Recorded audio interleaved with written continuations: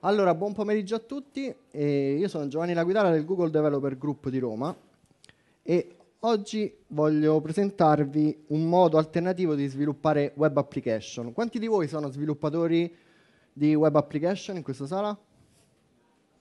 Un buon numero. Gli altri invece, quelli che non, non hanno alzato le mani, ne capiscono qualcosa oppure mai visto un modo per sviluppare web app, eh, tutto totalmente diverso? Cose totalmente... Mai, mai visto web application come si sviluppano? Per curiosità.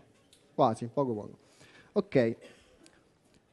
Io normalmente faccio lo sviluppatore Java per Android, eh, sviluppatore Android e sviluppatore C++, però siamo in Italia e spesso ci capita di non essere così specializzati nello sviluppo di qualcosa, ma ci dicono guarda ci servirebbe anche questo, ci servirebbe anche quell'altro tipo di sviluppo, succede, no? Magari devi sviluppare un componente di un DB, poi una web application, poi un'applicazione mobile, quindi sotto a studiare le cose per. Ora, ok, non sarà così difficile fare una, una web application, quindi diciamo di scegliere il linguaggio più famoso, quello più utilizzato per le web application oggi, che è JavaScript. Siamo tutti d'accordo più o meno, quello è il linguaggio principe. Solamente che per studiare JavaScript non basta il libro di JavaScript, ma bisogna studiarsi numerosi, numerosi framework e quindi lo sviluppo di un'applicazione web comporta la conoscenza di vari, varie librerie, vari pseudo framework che funzionano in, con logiche totalmente diverse tra loro.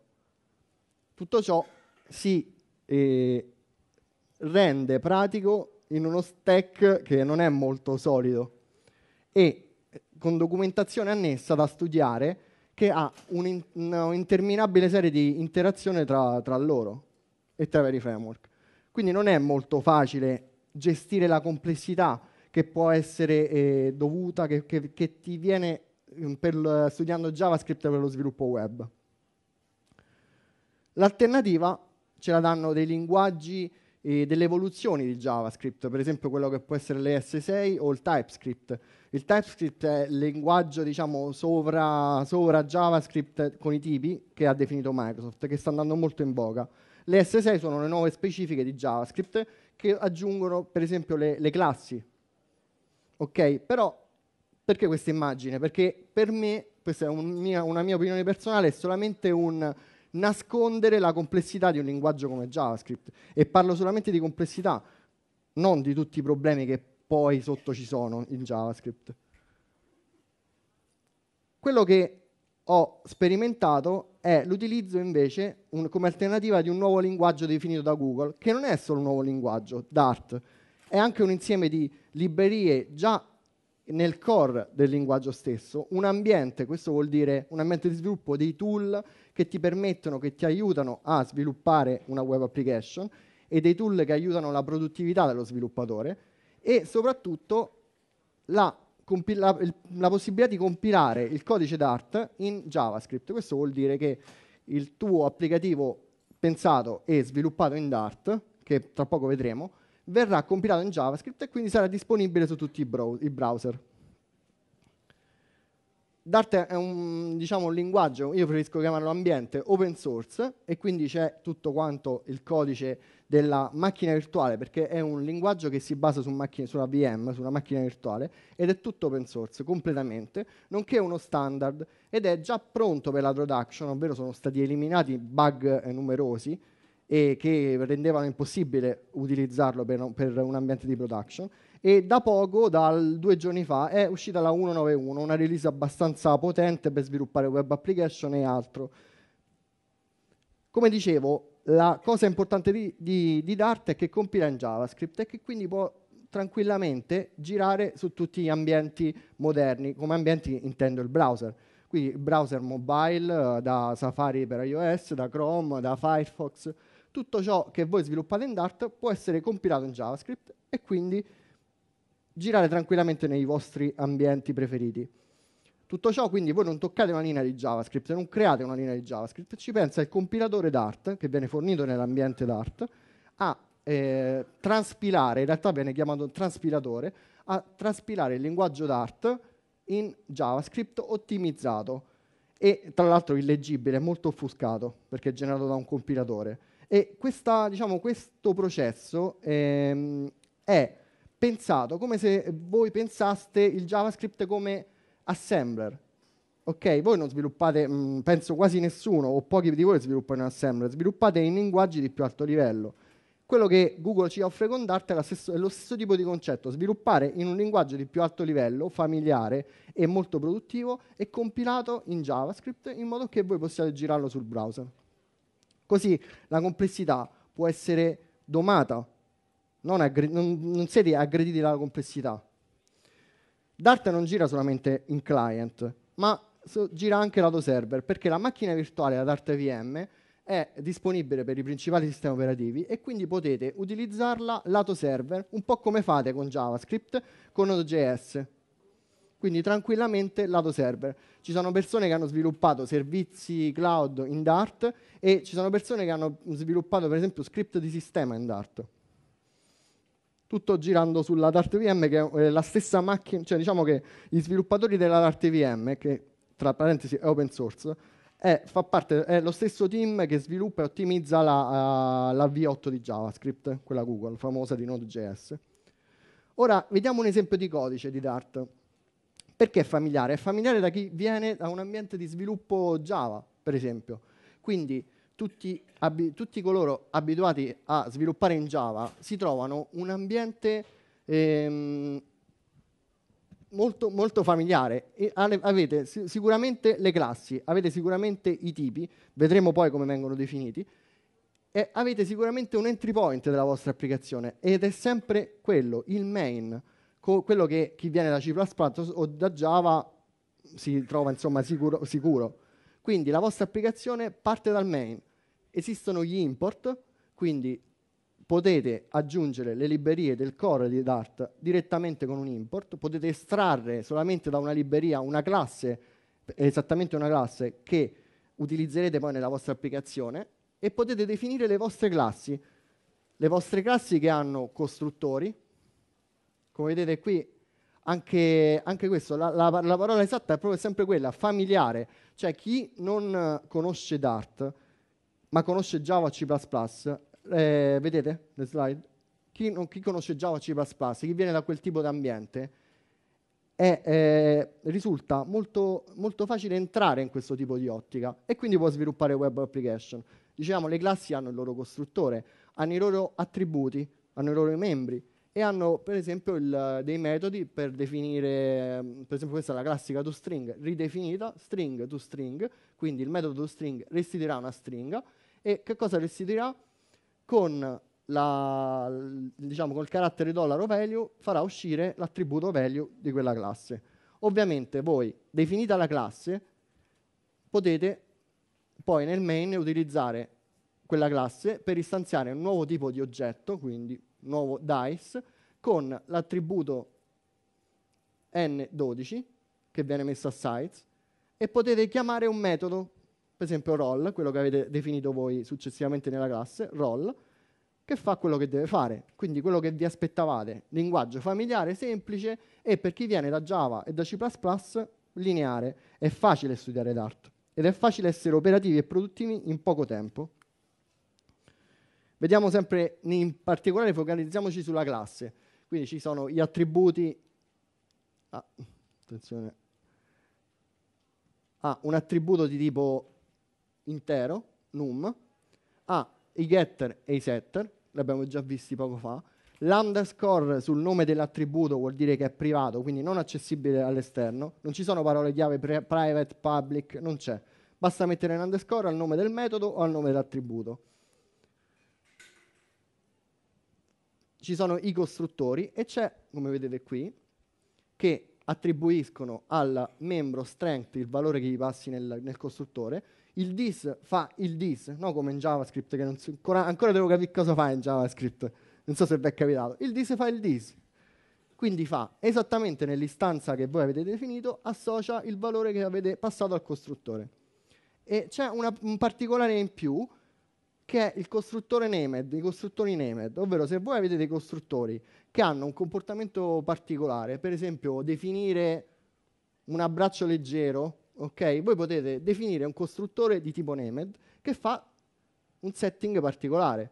Quindi poi successivamente per istanziare un oggetto di tipo hug con un modo particolare, basterà fare new hug di light, hug.light. È un costruttore, è esattamente un costruttore chiamato però come vi pare a voi e che ha il comportamento che definite voi.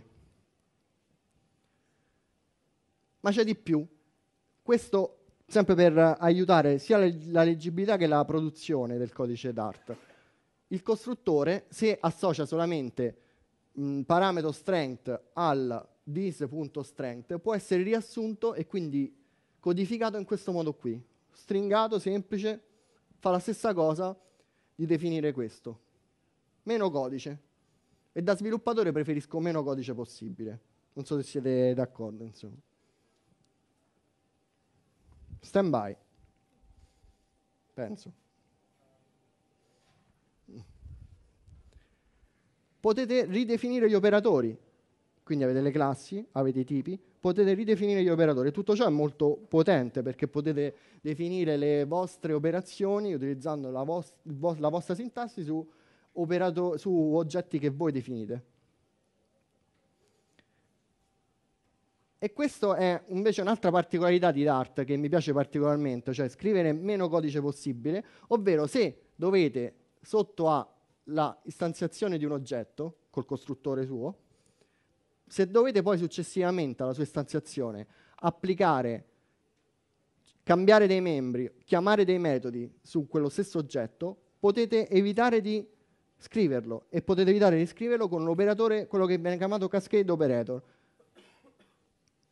che non è questo Roma 3.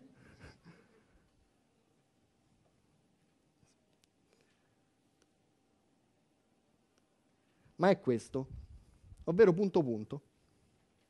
Così. Migliora di molto la produzione di codice perché comunque sia non devo scrivere button ogni volta. È una particolarità se volete, però aiuta par- particolarmente. E, e qualcuno mi ha, mi ha opinato il fatto che è poco leggibile questo, tipo di sintassi, però diciamo è soggettivo. In realtà io definisco un button, è un'istanziazione di un button element, questo è proprio il button element dell'HTML, e poi posso associare allo stesso button attributi, chiamare metodi, per esempio questo è long listener, ovvero chiama l'add quando viene fatto il click su quel button. Molto semplice. Esatto, fa riferimento all'ultimo new, deve stare esattamente sotto. Ok, è l'ultima cosa sotto alla new.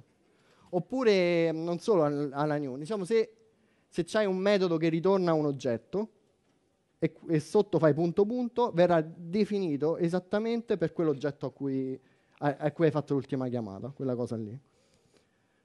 Quindi il costruttore, siccome ritorna un oggetto di quel tipo, ok.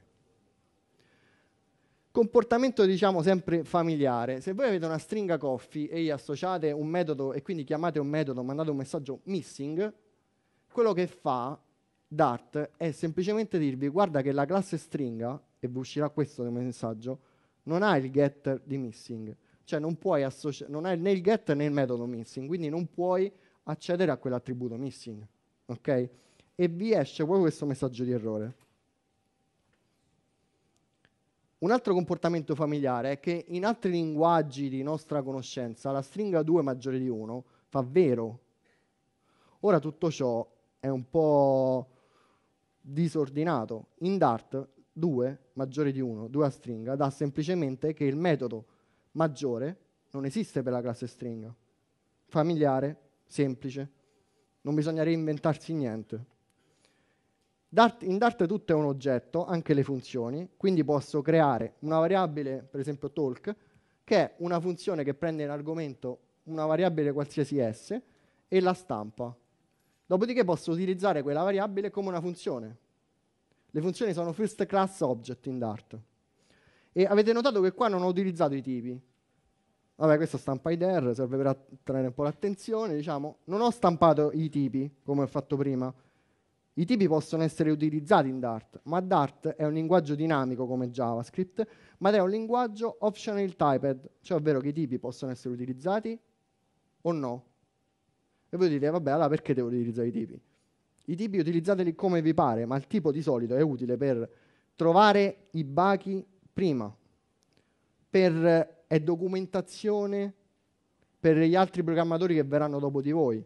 Cioè, se io prendo, se io ho un metodo e vedo che gli argomenti hanno una stringa, un intero e un booleano, so sicuramente che devo associarci quei tipi di valori.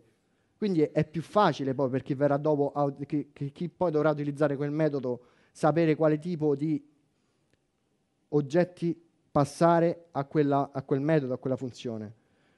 È documentazione per umani, documentazione, cioè il tipo. Quindi diciamo che è consigliabile utilizzare i tipi soprattutto quando, quando c'è un'interfaccia verso l'esterno, quindi negli input o negli output di un metodo, di una funzione, e poi magari all'interno della vostra funzione potete anche non utilizzare i tipi, potete definire una variabile var net value uguale new string buffer. Questa, la runtime di Dart sa benissimo che è uno string buffer, ma a voi non vi interessa non volete utilizzare la potenza del, del, del fatto della, della, tipizzazione all'interno di un metodo, perché tanto non vi servirà. Magari serve a quelli che utilizzano la stringa initial, il metodo initial, mettendo come argomento una stringa esatta e non un intero. Quindi i tipi opzionali, cosa molto importante. Io personalmente preferisco utilizzarli sempre, tanto non c'è un calo di performance, perché quando poi verrà compilato in JavaScript, tutto ciò viene tolto. Però utilizzando Dart e come vedremo il Dart Editor, l'ambiente di Dart, vi permette di scovare i bug, gli errori a tempo di compilazione, a tempo di debug dell'applicazione con gli errori sui tipi e questo capita spesso, cioè capitano gli errori sui tipi. Un'altra cosa che per esempio in JavaScript si può utilizzare è il jQuery, il jQuery per accedere agli elementi del DOM. Dart ce l'ha integrato, non bisogna utilizzare un altro tipo di librerie.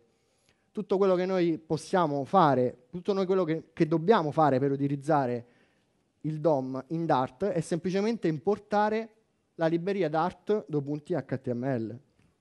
Stop. E dopo, dopodiché possiamo creare, ecco, per esempio nel nostro main abbiamo bisogno di accedere all'elemento input element di nome to do input e la lista to-do list.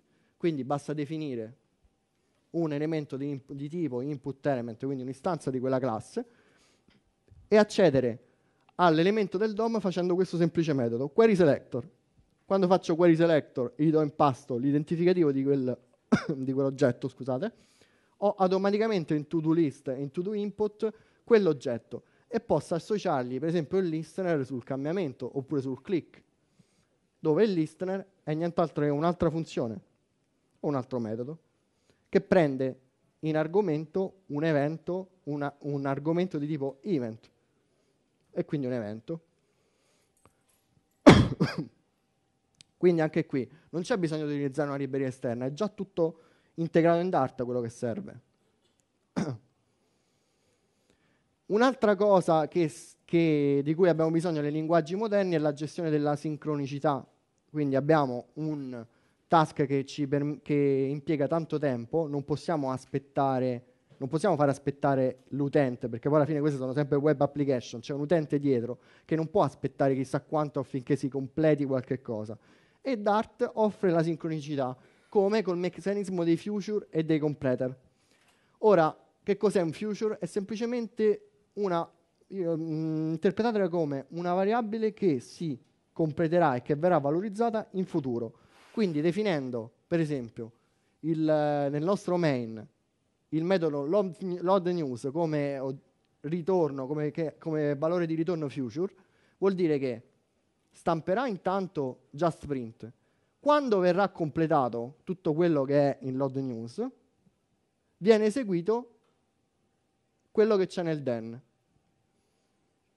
abbastanza semplice, forse l'ho spiegato in maniera troppo contorta, ma in realtà tutto quello che c'è, fai tutto quello che sta nella news, then, quando è finito, prendi le news e facci qualcosa, ok? Però questo è, vedete come un task, parallelo a questo.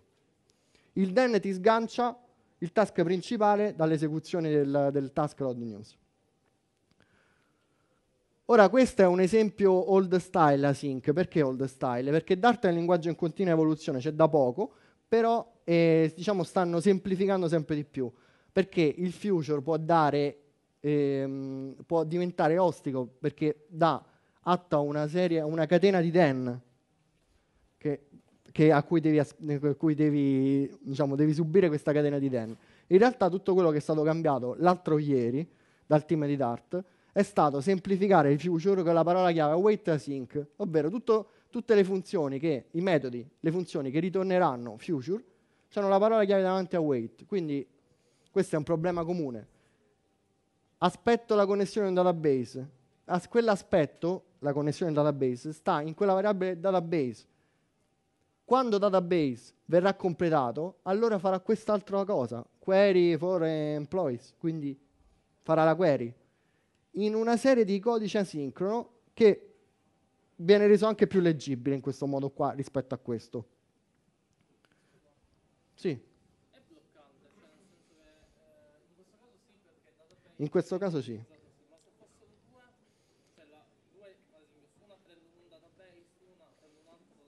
La, la wait non è bloccante in questo caso. La wait di solito non è, cioè, non è bloccante perché utilizzi il future, un po' come qui esattamente qui, no? Load news non è bloccante, perché infatti se voi eseguite questo codice vi stampa subito just print, poi viene eseguito mentre si esegue la load news, quando ha finito fa quello che sta dopo la news. Mm-hmm. Ok, ok. esatto. Mm-hmm. Lui la eseguiva, sì l'avrebbe eseguita perché, perché, questo qui no, perché database non è bloccante. Questo, è un, questo è l'esempio di una catena di future, quindi sono sequenziali ma non, non, bloccanti. Qui potevi fare qualche altra cosa e veniva fatta. Ok? Quindi mentre aspettavi la connessione del DB potevi fare qualsiasi altra cosa. La cosa interessante è anche il catch dell'eccezione e degli errori che possono venirti da un tipo, per esempio, dall'attesa di una connessione di un DB. E quella gestione viene fatta sempre qui.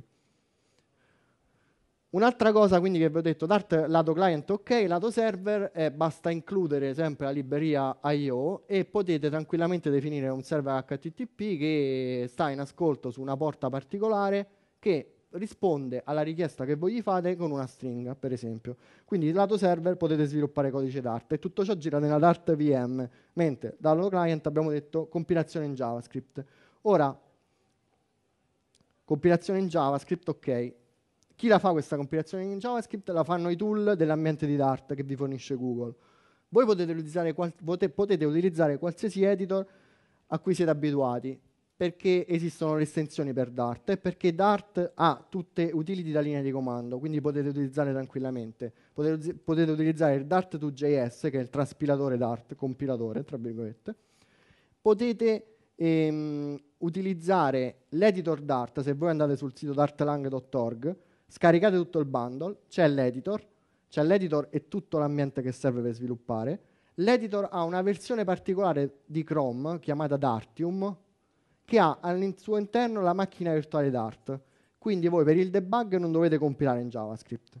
Ok? Quindi tutto, eh, anche lo sviluppo, lo sviluppo è molto più veloce, non dovete compilare in JavaScript. Fate il vostro codice Dart, fate play sul Dart Editor, che tra parentesi è una versione customizzata di Eclipse, quindi se siete abituati ad Eclipse, ok, molto leggera tra l'altro rispetto a Eclipse, e quindi fate il debug automaticamente in questo browser che è Chrome con la macchina virtuale VM Dart.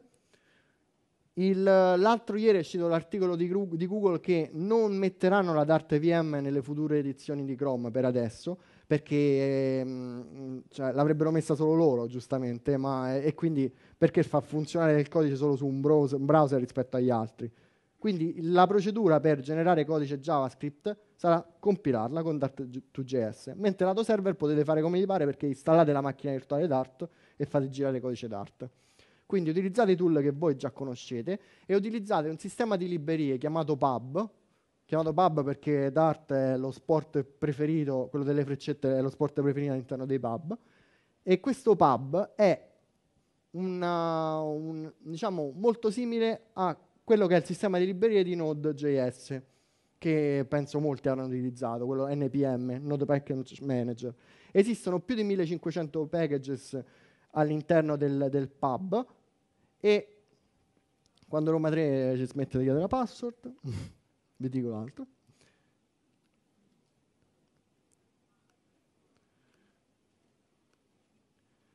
E anche voi potete utilizzare il pub per mettere le vostre librerie quindi è molto semplice fare dei pacchetti Dart e darli in pasto al pub, così che tutti gli altri possano utilizzarlo. Molto semplice perché tutto il processo della libreria Dart si basa su un unico file di configurazione YAML, in cui voi definite nel vostro progetto quali sono le librerie che utilizzate. Quindi molto semplice, anche qui non è che devo farmi chissà quali altri file di configurazione. In questo tipo di applicazione utilizzo Polymer, vedremo dopo cos'è, utilizzo le API del browser, utilizzo le API di Google, per esempio per accedere alla Google Map o agli altri servizi Google. Esistono numerose altre librerie per interfacciamento con DB, e, mh, mm, sempre, per, per, esempio utilizzando WebSocket, una miriade di librerie. Dart già me ne fornisce molte all'interno del core language e quindi diciamo già l- per l'80% dei casi vanno bene quelle che già Google vi fornisce in Dart e poi potete utilizzare librerie di terze parti, tutto in, centralizzato nel pub. Ora, una cosa importante della compilazione in JavaScript è che è ottimizzata, che vuol dire che quando voi fate un'applicazione in JavaScript e utilizzate un framework, vi portate appresso tutto quello che il framework vi offre all'interno del, del JS. Cioè non c'è il linker come dice questa frase qui che ho trovato sul web, il web è pieno di link, ma lo sviluppatore web non ha il linker. Cioè tutto ciò che voi quando sviluppate per esempio in C++ e non utilizzate viene buttato dal linker. In JavaScript tutto ciò non succede. In Dart, quando voi compilate codice Dart in JavaScript, viene eliminato tutto ciò che non viene utilizzato. Quindi il vostro JavaScript è ottimizzato per la vostra applicazione web. Non, codice, non usa codice che non utilizzate molto semplice. Facendo questo algoritmo che si chiama tree shaking, ovvero scuote proprio la libreria e toglie tutto ciò che non viene utilizzato. In questo caso Bu non viene utilizzato e non ve lo ritrovate nel vostro JS. Sul sito sempre di dartlang.org trovate un aggiornamento costante di ciò che è il, di ciò che tutto il codice sviluppato e prodotto in, in, compilato in Dart2JS viene mh, diciamo, mh, analizzato secondo alcuni benchmark. Ora, io non sono un fanatico dei benchmark, però si vede che spesso sta, stanno migliorando. Qui c'è stato un picco verso il basso. Questo viola è il codice Dart2JS, questo giallo è codice JS eseguito in V8, quindi è diciamo, ancora in prestazione migliore il JavaScript. Certo che però dovete essere bravi sviluppatori JavaScript per sviluppare codice a questo livello mentre il linguaggio Dart direttamente interpretato da Dart VM è di gran lunga superiore in prestazioni. Quindi lato client le prestazioni sono molto simili, lato server è molto più performante Dart della macchina virtuale JavaScript, per esempio per fa- se fate backend in Node.js, fate backend con una macchina Dart VM è molto più performante. Dart può essere deployato sul cloud e Google vi dà il servizio que- a questo indirizzo cioè, ci sono tutte le istruzioni per deployarlo sul cloud di Google ovviamente. Non è abbastanza facile perché utilizza non App Engine ma Compute Engine quindi comunque non è abbastanza facile è un po' macchinoso però potete utilizzarlo anche su Heroku se siete abituati con JavaScript. È molto semplice è a questo link che poi vedrete anche sul, sulle slide salvate lo trovate. E è molto semplice deployare l'applicazione su Heroku. E è molto semplice utilizzare per esempio Docker, basta che mettete la macchina virtuale Dart VM e avete il server Dart. Ora, per chi conosce eh, JavaScript e magari co- ha mai sentito parlare di Polymer, qualcuno ha mai sentito parlare di Polymer? Ok. Polymer JS esiste anche per Dart. Lo, i, I team collaborano, così come esiste anche Angular ma non ve ne parlerò oggi. Esiste anche Polymer e Polymer appunto si basa su due tecnologie, una che a me piace de- definire il Lego del web, i web components. Io sviluppo un'applicazione web utilizzando pezzi predefiniti e lo shadow DOM, ovvero non devo inserire per ogni prezzo predefinito un div col suo sottoinsieme, no, utilizzo un altro DOM, ombra. Quindi Polymer prende le due tecnologie, insieme all'import dell'HTML e crea un nuovo tipo di stack, un nuovo tipo di tecnologia che può essere utilizzata per omogenizzare le applicazioni web. Esiste in Dart, per, cosa devo fare per utilizzare Poly, per, Polymer per l'applicazione Dart? Prendere l'account di Roma 3, chiuderlo,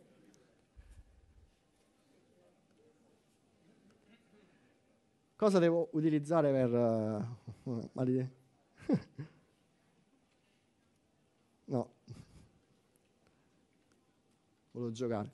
Allora, prendere, per utilizzare Polymer dovete prendere il pub spec YAML del vostro progetto d'arte e aggiungere la riga Polymer. Lì è specificato il versionamento della libreria che volete utilizzare. No, voglio, mi, mi, basta dalla 15.1 alla 17.0 e posso tranquillamente utilizzare gli elementi Polymer. Come li utilizzo? Semplicemente importandomi l'elemento che voglio. Voglio un paper input, un paper input, quindi è un input di tipo material design, per chi conosce il material design una volta importato, lo posso utilizzare, logica dichiarativa, paper input e la label, tranquillamente. Prendo il componente e lo utilizzo. Posso definire in Polymer, e questo anche in JavaScript, posso definire i miei custom element, solamente che in, po- in Polymer.js utilizzo JavaScript in Polymer Dart utilizzo Dart, grazie. Ma voi basta che in Dart definite il vostro template del vostro custom element, quindi voglio fare un element hello world, e voglio gestire con un applicativo Dart il codice del mio, in questo caso, in questo caso è l'element click hunter. Quindi basta poi che nel mio click hunter element estendo utilizzando l'ereditarietà che c'è in Dart, sono le classi, c'è l'ereditarietà, quindi posso estendere l'elemento polymer, polymer element, me ne creo uno io customizzato, creo un attributo count che è di tipo observable, cioè di tipo int, ma c'ha la notation. Tra l'altro questa della notation è una cosa molto familiare a chi viene da Java. Comunque, dando la notation observable, tutto ciò che è observable ha il data binding nell'HTML. Quindi voi modificando poi eh, qui, quello che voi vedete count in realtà è esattamente count di click counter element, che sono collegati. Tutto ciò è molto quasi banale, cioè definisco un nuovo elemento con template HTML e col codice Dart associato. Posso anche crearmi degli attributi nuovi e quindi basta mettere la parola chiave published in questo caso, attributi quindi dell'elemento. Posso farmi il mio, il mio componente volume knob che prende come attributo un valore intero, volume. Questo valore intero è un attributo perché? Perché ci ho messo l'annotation published. Quindi classe, template e due, i due tipi di annotation. Tutto molto semplice. Posso fare template condizionali, ovvero se un contatore è minore di 10 faccio vedere una cosa in HTML, se il contatore è maggiore o uguale a 10 faccio vedere un'altra. La logica all'interno dell'HTML e la logica all'interno del Dart, della classe.dart. Posso fare i template loop, quindi posso ripetere il tem- mio template, quindi in questo caso li- l'elemento della lista mi piace il frutto, in per ogni frutto della lista fruits. C'è qualcuno che ride. ok? Quindi basta mettere la lista come to observable, l'oggetto di tipo observable è esportato in HTML. Quindi posso estendere il comportamento degli elementi del DOM semplicemente utilizzando l'ereditarietà e quindi fare extend button elements with che è una cosa particolare del, del Dart che è chiamata mixin, esiste anche in altri linguaggi, ovvero estendere classi prendendone solamente il comportamento, diciamo, vederla così, mixin. Serve per non sporcare l'albero della gerarchia dell'ereditarietà il mixin. Un altro framework che è molto utilizzato nel lato server è il Dart Force. Dart Force è semplicemente, per chi è abituato allo sviluppo Java, conoscete Swing magari, qualcuno avrà fatto delle applicazioni Swing? Ok, questo per esempio è il codice Swing e questo è il codice Dart utilizzando quella libreria. Ha le stesse, le stesse annotazioni, le stesse funzionalità.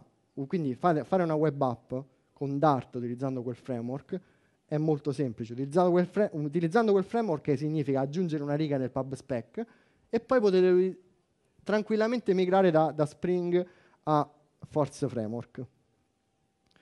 Il Force Framework vi permette anche di utilizzare, che non è Google, eh, di, di uno sviluppatore che conosco molto bravo, vi permette anche di potenziare il meccanismo di real time, cioè il, tutto quello che è comunicazione real time tra, tra server e client. E tutto questo fatto in maniera semplice, ovvero definisco col, un nuovo server e poi quando ricompare la...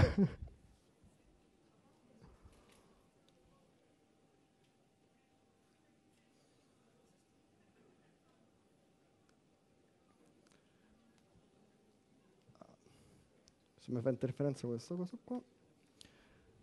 Quindi definisco un server, lo istanzio, all'avvio manda una richiesta a tutti i client col metodo send, richiesta di tipo stringa, quindi il messaggio stringa, e in argomento passo un JSON, ok? E tutto ciò viene poi interpretato in risposta che col metodo on, quindi quando mi arriva, quando al server arriva un messaggio di tipo info, allora fa delle cose con l'arg- l'argomento ricevuto. Anche qua molto semplice e questo meccanismo real time è ispirato a Socket.io, il framework JavaScript, quindi utilizza il WebSocket.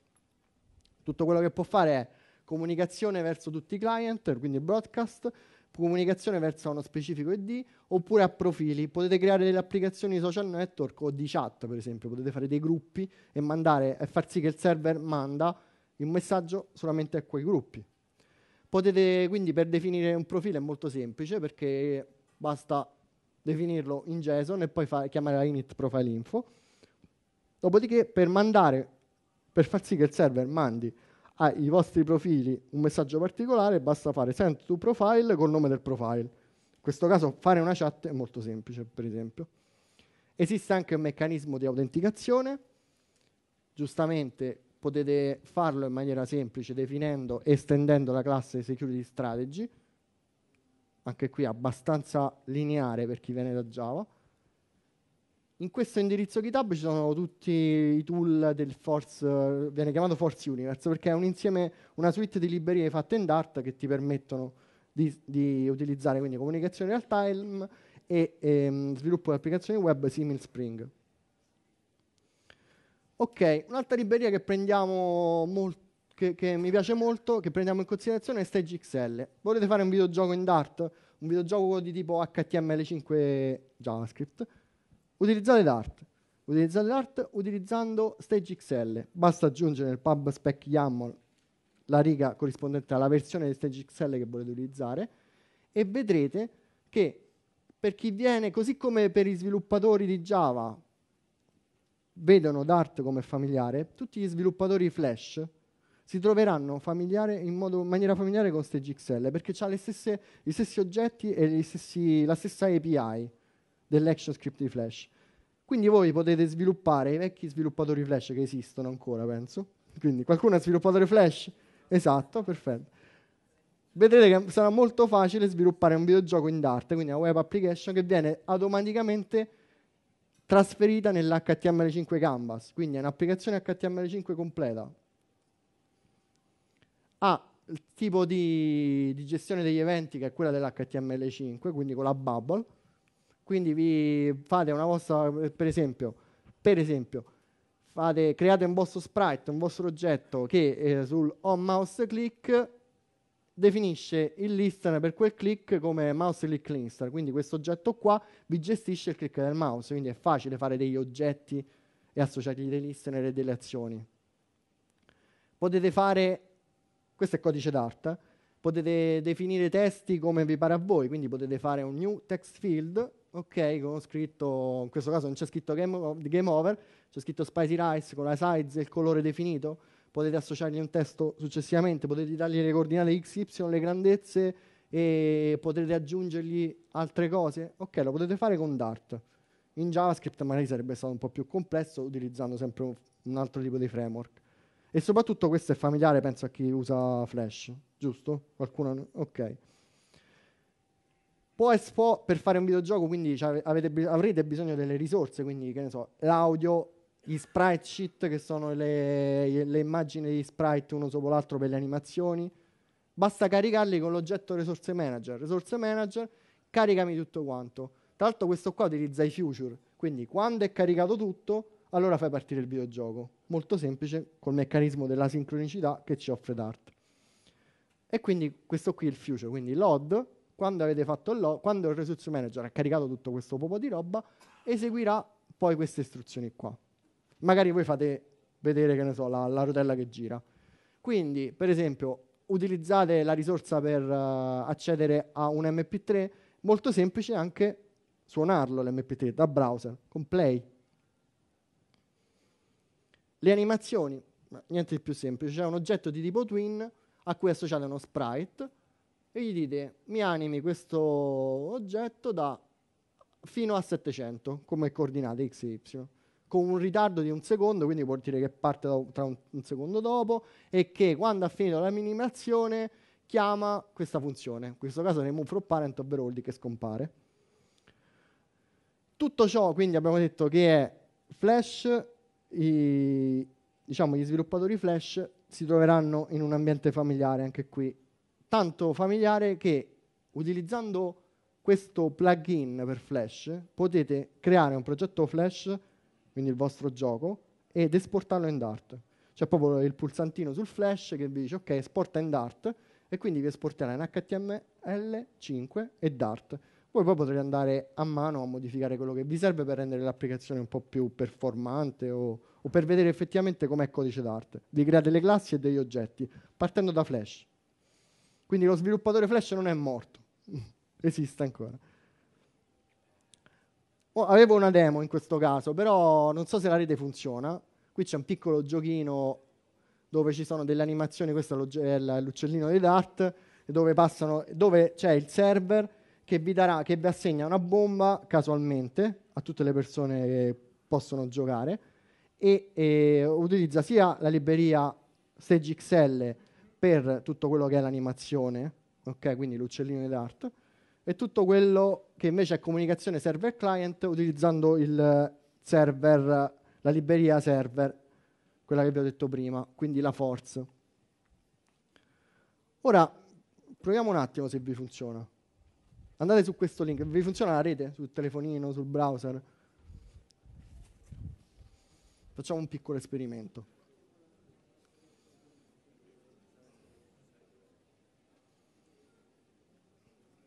Allora. No, non mi ci fa no.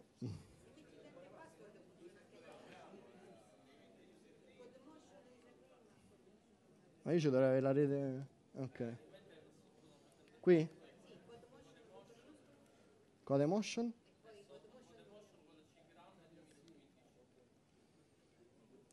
...2015. Ok. Vediamo se funziona.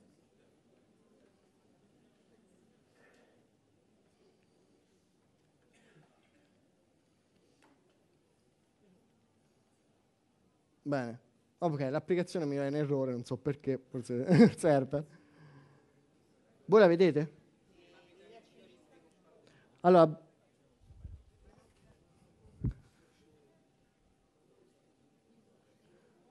vabbè, l'effetto demo che non funziona mai durante le presentazioni. Comunque dovrete vedere un'interfaccia di tipo Polymer, quindi molto material design dove potete scegliere il vostro nome, fate l'input del nome e potete scegliere il, l'avatar. Ve la lascio ancora perché mi serviva un attimo riprovo, perché io in realtà ho l'interfaccia tabellone in cui posso gestire il gioco, che però in questo momento è morta. Non so se è per la rete, per Heroku, che magari è la, la, diciamo, la macchina quella gratuita che non supporta tante connessioni. Fino a poco fa funzionava, Ce l'hai? Ok. Cioè, l'interfaccia è molto semplice, c'è l'interfaccia Polymer prima, quindi che ti fa vedere col, col bottone del material design. Poi una volta che entrate partono le animazioni del, degli uccellini.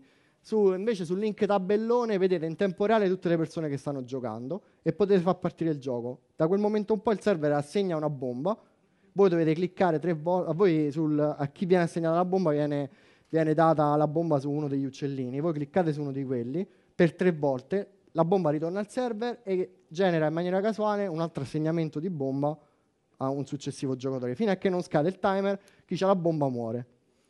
In quell'esempio, in quell'esempio lì, in quell'esempio lì viene...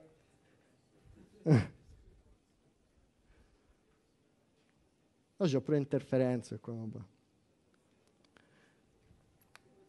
In quell'esempio, quell'esempio lì che potete vedere poi nel, nel codice su GitHub, questo è il mio account, c'è proprio l'esempio molto semplice, il codice è molto semplice e soprattutto poco. Quindi comunicazione client-server, StageXL per un'animazione che è, molto, che è quasi banale, però se siete dei bravi artisti potete farla effettivamente come vi pare, è molto, molto bella. E, e soprattutto c'è anche una piccola parte, una piccola parte che è l'interfacciamento con Firebase. Piccola parentesi, domani c'è il lab Google e comunque Dart si interfaccia benissimo con Firebase. È molto semplice farlo, sempre per, utilizzando le classi e le istanziazioni Dart. E questo più o meno è tutto. Se avete domande su Dart o sul talk, oppure per eventuali feedback, quello è il link. Vai.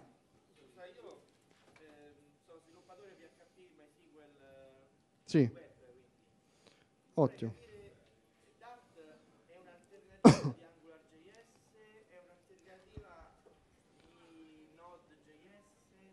Allora. E, e, e, soprattutto hai nominato Firebase perché ero interessato a fare qualcosa di mm-hmm. relazioni shared object, cosa che si faceva forse 8 anni fa con Flash, eh, mm-hmm.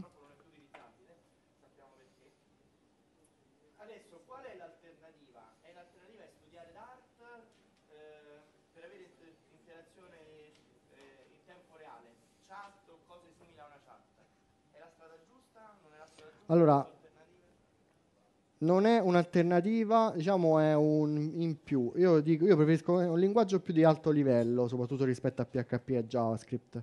Quindi per fare la, una web application in Dart, se per esempio sei una grossa azienda, io preferirei, se sei uno sviluppatore singolo, magari la continui a fare in JavaScript, ma per grosse applicazioni complesse conviene avere una gestione della complessità che Dart ti dà in più tutto qua.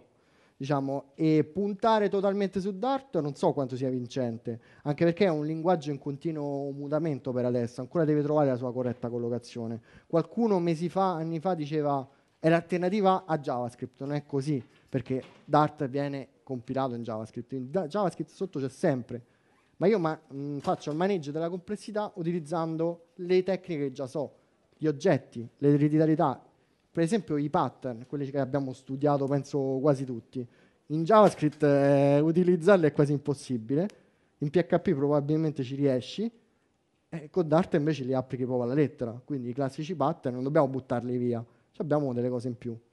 Okay? Interfacciamento con MySQL, esistono librerie che ti permettono di farlo in Dart.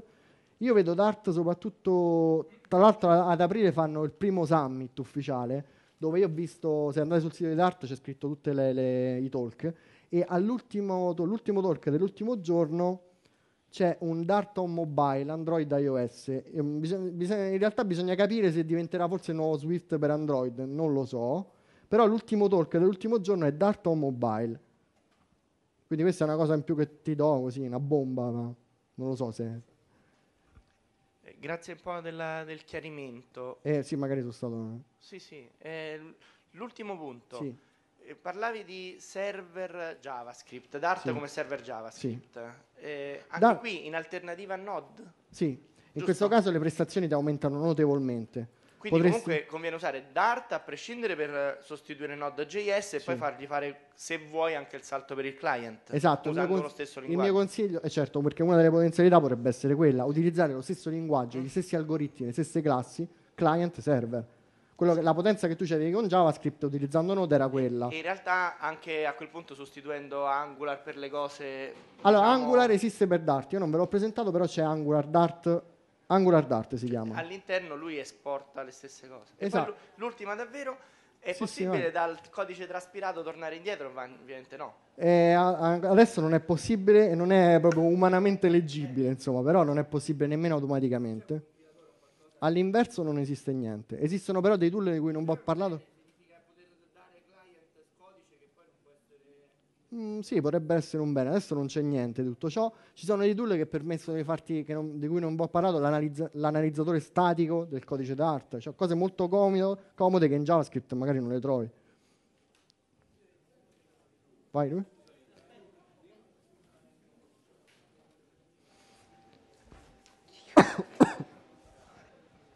Um, tu prima parlavi che non, diciamo, non volevi pre- parlare di Angular Dart, però sì. uh, giustamente tu prima hai fatto vedere gli esempi di data binding con Polymer. Con Polymer. Ok, okay. Uh, cosa ne pensi effettivamente però della filosofia Angular uh, applicata a Dart? Allora, Angular applicata a Dart sicuramente è, eh, mi piace di più rispetto ad AngularJS, semplicemente perché il meccanismo di Angular Dart utilizza le classi, cosa che è molto più appropriata. Usa le, not- le, notation eh, per... Esatto, uh, bravissimo, è proprio quello. Cioè, utilizzando le classi con la logica di Angular Dart, è proprio, la, la vedi proprio che fanno scopa, tra virgolette, perfettamente. E quindi c'è proprio la classe controller, ok? da cui puoi accedere. E dal punto di vista delle performance c'è un calo delle prestazioni? O... Mm, no, su quello no. E un'altra cosa, Angular già, la, già stanno lavorando all'Angular 2.0. Esiste anche, anche se vai sullo sviluppo, sul GitHub di sviluppo di Angular 2.0, trovi le tre versioni JavaScript, TypeScript e Dart. Quindi trovi tutte e tre. È ancora sperimentale, però esiste. Ok, grazie. La community è abbastanza numerosa non è quella di JavaScript, non è quella di PHP o di Python, però insomma è da poco che c'è. Domanda? No, solo, solo per, per, essere sicuro, Dart praticamente serve per far sviluppare JavaScript a chi non conosce il JavaScript. Serve, è un, uh, un'alternativa di alto livello per fare web application. Sicuramente se non conosci, se sei un bravissimo programmatore di JavaScript fai le cose di, in performance uh, molto buone. Lato server non raggiungi... Eh, però diciamo, l'obiettivo è prendo un Javista e gli faccio fare una, una web application. È un mezzo in più che hanno i Javisti per fare una web application, sì. Eh, esatto. Ma no, questo, non, è cioè, non, non, è non è l'obiettivo brutto, dell'arte. Nel senso, io vado a fare del codice senza sapere cosa sto facendo veramente. In realtà tu fai del codice, sai quello che, che fa, perché comunque c'hai la documentazione e tutto il resto. Ma Compila... viene compilato in Java? Ma allora la, la faccio direttamente in JavaScript, nel senso... È, co- è, come se fai le cose in assembler e non utilizzi C++. Faccio le cose C++, però... No, sono due cose diverse. Come? Cioè, scusa, se faccio le cose in assembler, no, faccio i videogiochi in C++. Cioè, alcune volte, se conosco l'assembler, mi posso mettere a operare, per esempio, il livello grafico, in sì, maniera sicuramente più para- efficiente. È diverso l'approccio, è diverso il paradigma tra un'applicazione in Java e una web application. Cioè, eh, è diverso il contesto, è diverso il... Sì, sì, sì, però nel senso i livelli di, di, di, astratte, di astrazione sono so più o meno simili, no? Cioè se tu vedi... Sì, abbiamo sto bis- mettendo un livello di astrazione per evitare che le persone debbano imparare una, una, un qualcosa. Qualcosa che però che non è... è qualcosa, è come se facessi certo. un... È come se facessi un compilatore che legge un sorgente C e lo scrive in Java. Cioè, qual è il il è, Pro. È un qualcosa, JavaScript, che però è evoluto in maniera non, uh, diciamo, ma questa è un'opinione personale, non standard. Cioè, molti odiano JavaScript perché ha delle... Sì, scusa, cose tremende. intervengo io. Il problema è, personale. è che, no, no, infatti è che in fondo JavaScript è proprio un paradigma di pro- programmazione diverso. JavaScript diverso. è un linguaggio funzionale. Sì. Il Java è un linguaggio a oggetti, quindi se cioè noi ci mettiamo sei mesi, stiamo cercando un JavaScriptista, non si trova perché è pieno di gente che dice io uso Angular e poi dici vabbè ma che, che fa questa cosa esatto. e non conoscono il JavaScript sostanzialmente. Però in JavaScript, in JavaScript no. ti capita questa cosa non spesso. Sa, non sanno che quella è una function, che Angular punto controller vuol dire che Angular è un oggetto dentro cui c'è una esatto. function. Bravissimo. In JavaScript questa cosa capita spesso. Io uso, io uso Angular, eh, io uso quest'altra cosa. Tu non sei un programmatore JavaScript. Io sono un JavaScript. Cioè, tu, no, tu scusa. Esatto, tu magari eh. Non utilizzi nemmeno, che ne so, il uh, jQuery. Tanti non utilizzano no. nemmeno jQuery. Sì, cioè, cioè arrivi a usare pure jQuery perché è comodo, però perché sei in comodo. grado di capire che, che, perché è comodo, che lo esatto. sai fare anche da solo, vabbè. Perché, il perché è comodo, se c'hai esigenze di produzione... No, è comodo solo per il cross-browsing, per, il, per, essere, okay. per riuscire a fare document.getElementByD su tre browser diversi eh. senza che si incarti.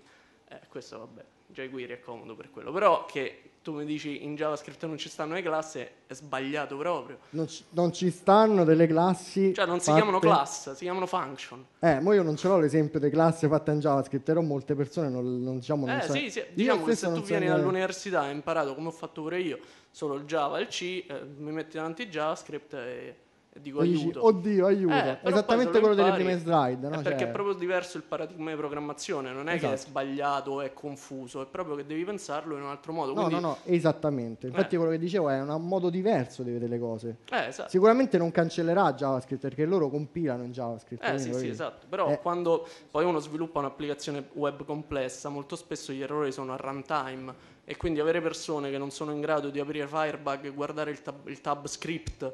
E mhm. quindi leggere il, file, il, JavaScript, secondo me rischia di essere pericoloso. Cioè. Per il debug, per esempio, puoi utilizzando solo Chrome, utilizzando solo Chrome, vedere con le source map il codice Dart. E questo un po' ti dare una mano nel debug. Sì, sì, sì, vabbè. vabbè, questo poi è cioè, un'opinione personale. Opinione personale, ovviamente. Poi è vero, uno sviluppatore JavaScript eh, serio, tra virgolette, è più, è più bravo rispetto a un javista. No? Altre domande? Ok. Grazie a tutti.